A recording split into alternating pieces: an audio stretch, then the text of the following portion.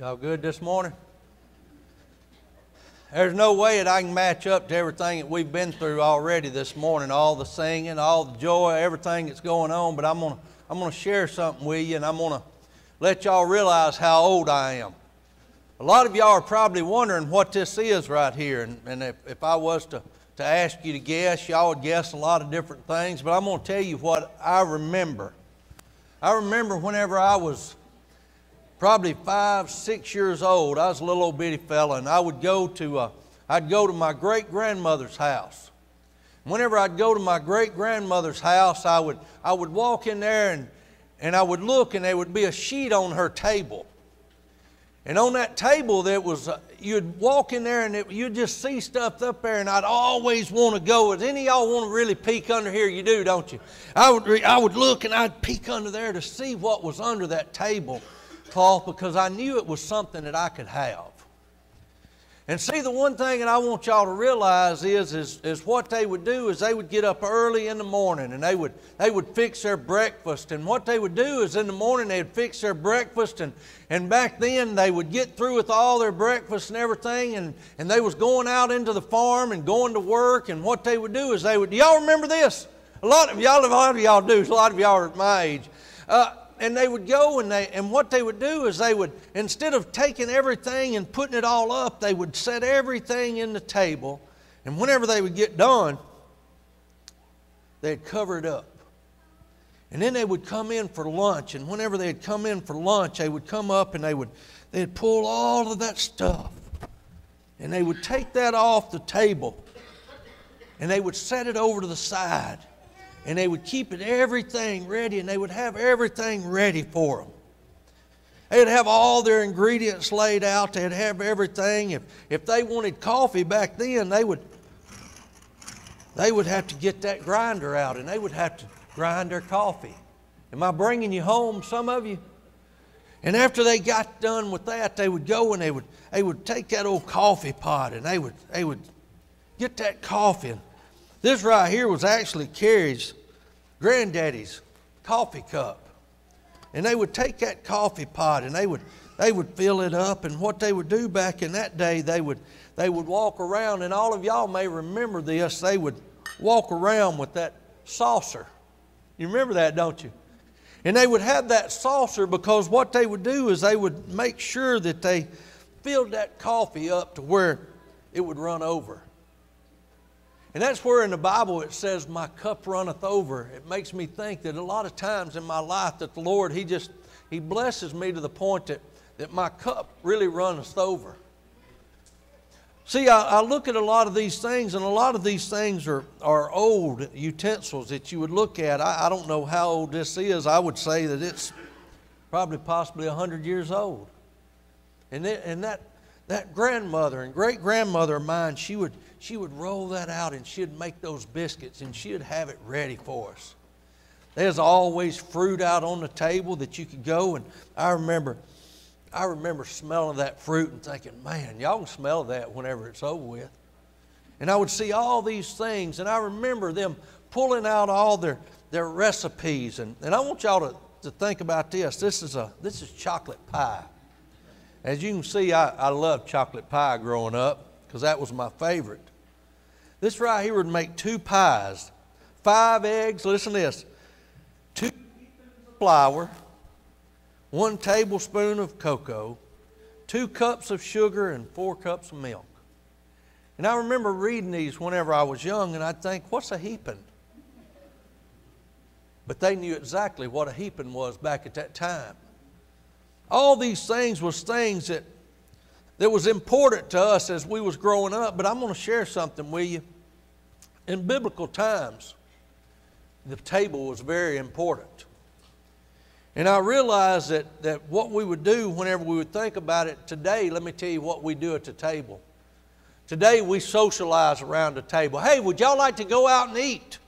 And we would sit around the table and we would socialize and we would, we would laugh and, oh, you'd see people, oh, everything's going just great while they were sitting around the table. But then they'd go back to their house and they had still troubles at their house. But while they were sitting around the table, they'd forget all about their problems, all about their trials. Do we do that today? We do, don't we?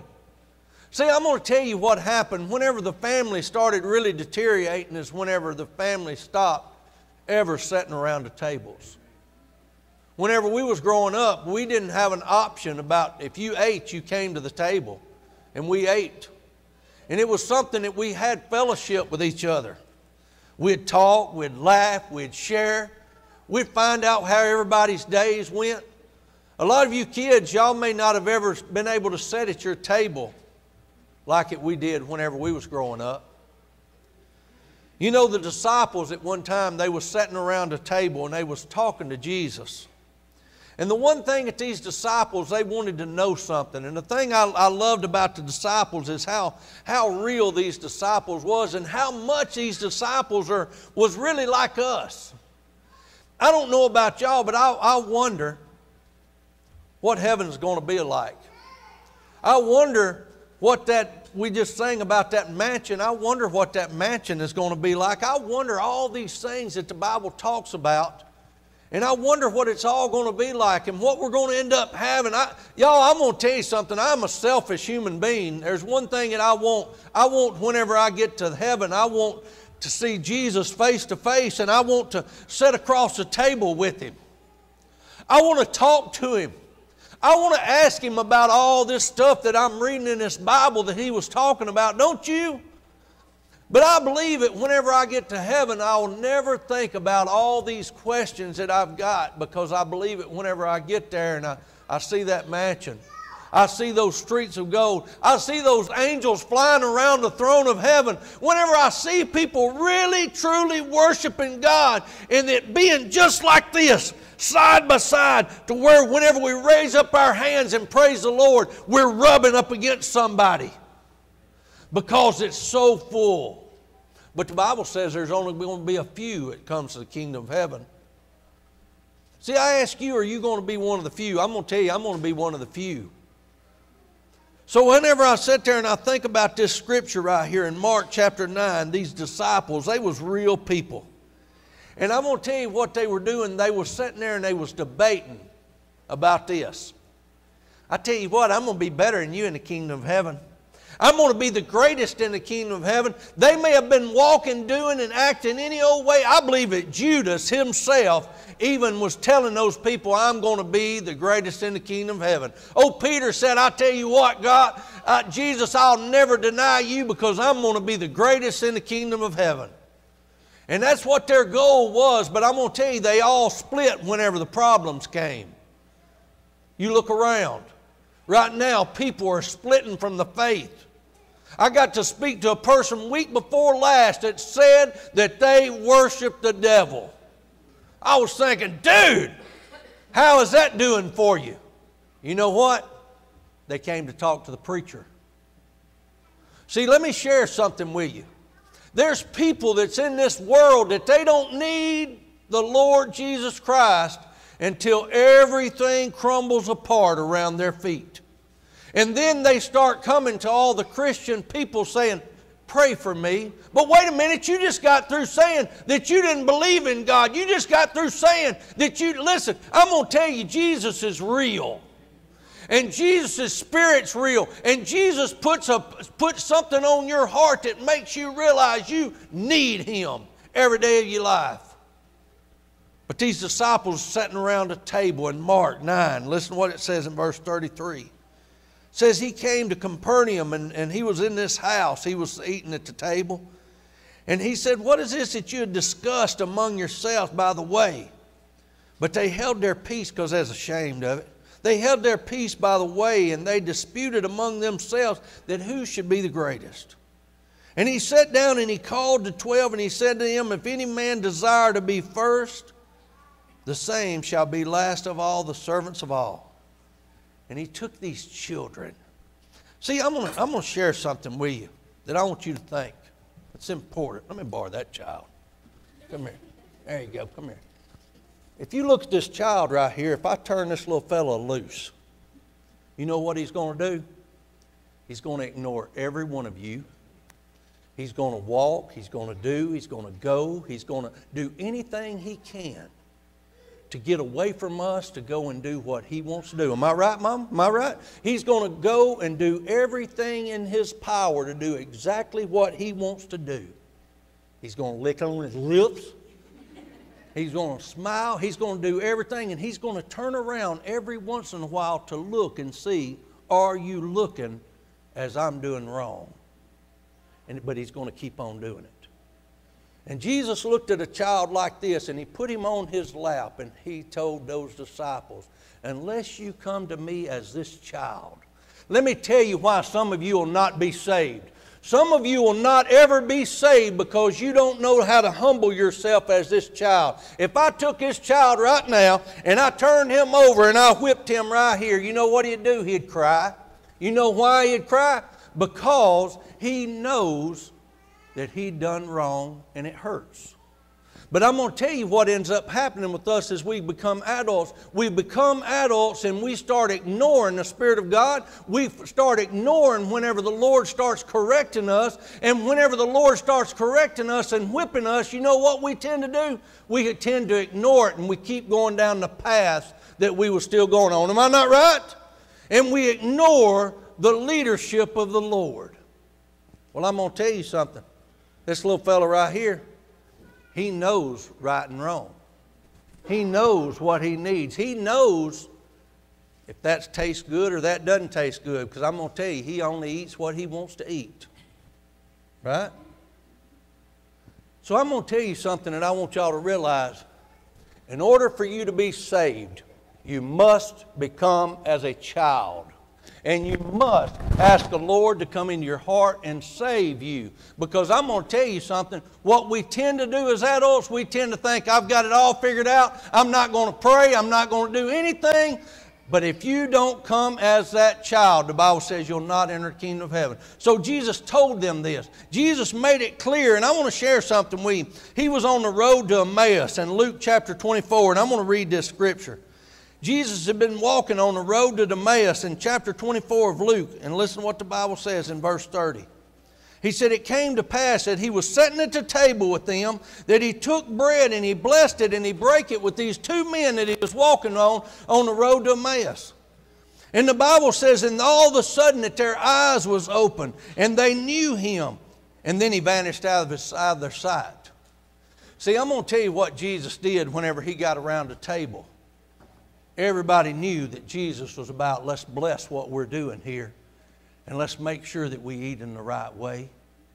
See, as I read this scripture, it says when they're, and it says, and they said one to another, did not our heart burn with us, uh, within us while he talked with us on the way? And while he opened the scripture. I think about this because a lot of times we realize that, that we don't open the scripture enough we realize that whenever we're sitting around a table now, you know what we do? We play board games. When we're sitting around the, the table, we, we play games and we'll roll our dice and we'll move three or four spaces and we, we do all this and we laugh and, and we have a good time. But do we really get around a table and we really worship the Lord like we used to do whenever we were kids? And I, I, think about this because the one thing that I realized that as Jesus was opening up that scripture, all of a sudden it came to life who he was. But they'd been walking with him for days. And I listen to this because I want to tell you what we do today. Today, what we do when we get around the table, we start trying to solve our problems, don't we? If our kids have problems, I'm going to tell you what we do. We try to get their attention, so we'll set them around the table. We'll talk to them. We get to the point that we think, you know, we can handle anything. Oh, kids, y'all get in there to that table and do your homework. Do your homework. You know why? Because that's a place that you go and you sit around and something truly needs to be done at that table. Whenever Jesus opened up that scripture and everything come to life, and I got this one scripture that I want to read you because this scripture blesses my heart. In Luke chapter 7, and I want y'all to look in verse 36. Jesus changed people's lives forever while he was at the table. Listen to what the Bible says in Luke 7 36. It said, One of the Pharisees desired or wanted him to come and that he would eat with him. And whenever he went into the Pharisee's house, he sat down to eat. And there was a woman in that city which was a sinner. And when she knew that Jesus was, was at that Pharisee's house, listen to what she did. She brought this alabaster box of ointment. This alabaster box of ointment right there, it, it was over a year's wages. She had done everything she could, and she was going down the wrong path. She was a harlot. She was, and all of a sudden she realized, I, I just want to touch this Jesus that they're talking about. But she went further. And she stood behind him weeping and began to wash his feet with her tears and did wipe them from the hair of her head. She kissed his feet. She anointed them with ointment. And every one of these Pharisees that was sitting at that table, they missed it. They missed what this woman had done. They missed it. This woman wanted to be changed. They missed it. This woman wanted to have forgiveness. They missed everything that this woman did at this time because listen to what they said. The Pharisees which invited him, they saw it and they spake within themselves. This man if he was a prophet, would have known what manner of woman this was that touched him because she's a sinner. Y'all, let me share something with you about Jesus. Jesus knows what you are. Jesus knows what you've been. Jesus knows where you've going. Jesus knows everything there is about us, and He still wants to touch us. He's still got to the point in His life that, listen, that at point in your life that Jesus wants to touch you no matter where you're at. And Jesus answered and said to him, Simon, I got something I want to say to you. And he said, Go on and say it, Master. He said, There's two creditors. He said, There's two debtors. One owed 500 pence and the other 50. And whenever they had nothing to pay, he forgave both of them. He said, Which one loved him the most? Brother Steve, why are you reading this? I, I want to read this because I want to tell you something. No matter where you are or what you've done in your life, when Jesus touched your life, he will change you forever. The Bible says the one that he forgive the most is the one that loves him the most. I'm going to tell you why I love Jesus. Y'all know that song, Oh, how I love Jesus, because he first loved me. The reason I loved him and love him today is because he has forgiven me for a lot of things. He's changed my life. He's made me happy. He's given me joy. He's given me a family. He's given me a church family that I love and they love me. I'm going to tell you what God has done. God has changed me from the inside out. And I'm going to tell you, He does not care what I used to be. All He wants to do is make me what He wants me to be. I got one last scripture that I want to read to you, too. Jesus said in Luke 22 30, He said, Man, we got to be faithful. This is exciting whenever I look at this. He said, Ye that eat and drink at my table in my kingdom and sit on thrones judging the 12 tribes of Israel. One of these days we're going to have a reward. And I'm going to tell you about this last table. In Luke chapter 14, here's the last table that I want to read to you. The Bible says that one of them, Luke chapter 14, verse 15, and when one of them that sat at meat at the table with him, they heard all these things, they said unto him, Blessed is he that shall eat bread in the kingdom of God. And he said unto him, He said, A certain man had a great supper, and he, and he invited many people. And the servants came at supper time and said to them, He said, Everybody was bidden come because everything is ready. Y'all, let me share something with y'all. Heaven's ready right now. Heaven's ready for every single one of you. Your place is prepared. Jesus has done everything that He's got to do. Everything's ready. But I'm going to tell you what these people did. Y'all ready here? One said, Oh Lord, he said, I can't come to you to your invitation because I bought some ground and I got to go look at that ground. The other one said, Lord, you know something? I bought a bunch of oxen and uh, and Lord, I can't come because I got to try those oxen out. Another one said, Oh, Lord, my wife. I married a wife. And you know something, Lord, I ain't got time to come. And verse 21 says, So the servant came and, and said to the Lord, the master of the house, and he was so angry at these servants. He said, I want you to go out quick. He said, I want you to go to the streets and to the lanes and the city, and he said, I want you to bring here to the poor and the maimed, the crippled, and the, and the lame, and all that's blind. And the servant said unto the Lord, said, Lord, it's done, but yet there's still room. There's a lot of people that thinks that there's not enough room for them in the kingdom of heaven. There's a lot of people that thinks that they've been sorry all their life and that they can't go to heaven. Have you ever thought about how silly that truly is? and they start following other things. The Lord said unto him, He said, Go to the highways and the hedges and compel them that they come into my house and be filled. For I say unto you that, that none of those men which was invited will taste that supper. Jesus said, Come unto me, all your burden and heavy laden. He said, I'll give you rest. Sometimes the Lord makes me do something that I don't want to do as a pastor. A lot of times. But I realize that, that whenever Lord has me to do it, I'm going to do it. There's a lot of you out there that the Lord's had you to do something. Lord may have you to, to tell, your, tell your spouse, you know something, I'm sorry for what I said or what I did to you. And we swell up our chest and act like it we're okay, and we, we never tell them. We never tell them we're sorry.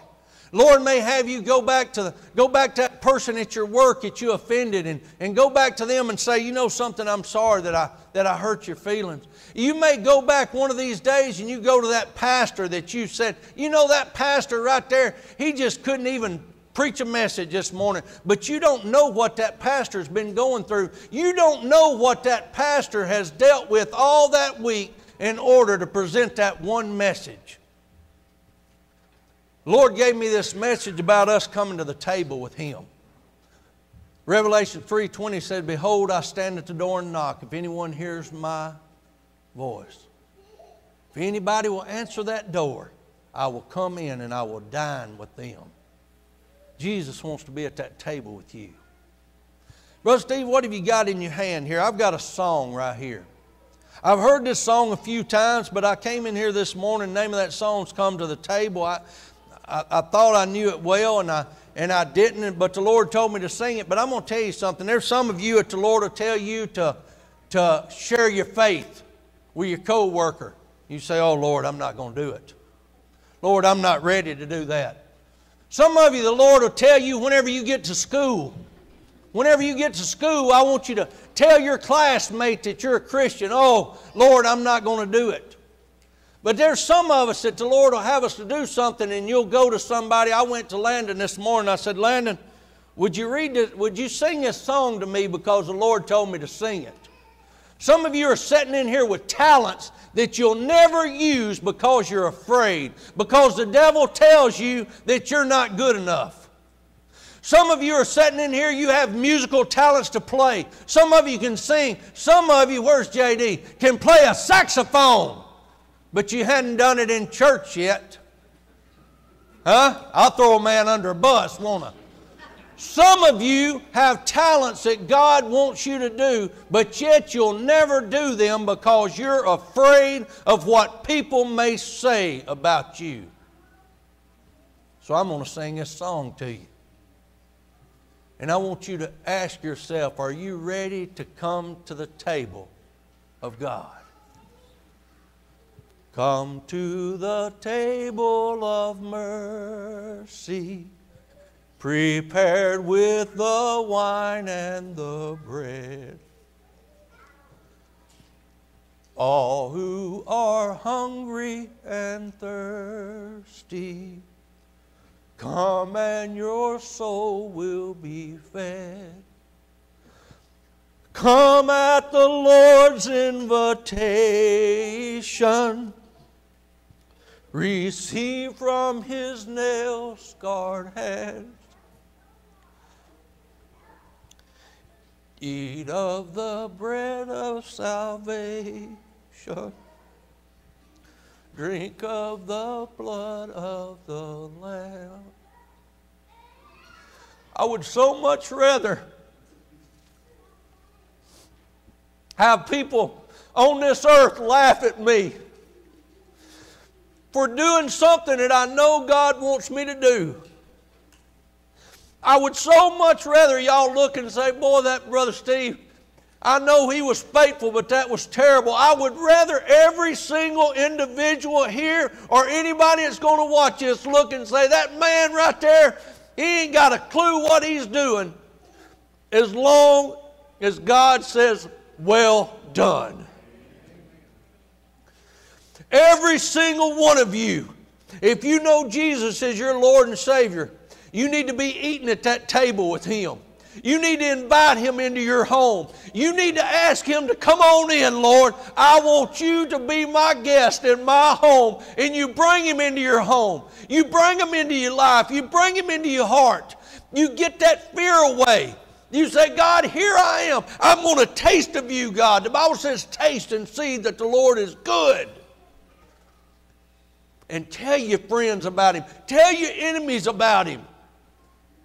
Brother Steve, I'm not ready. Well, then you better come to this altar this morning and get yourself ready because I'm telling you, God wants to pour out a revival on this church. God wants to touch your friends and your family. He wants to touch your life and He wants to use you.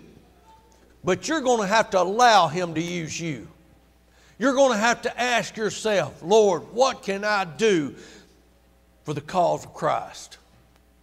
He'll change your life forever if you allow Him. The table's open. The table's open for every single one of you to come and receive Him. God, I come to you, Lord.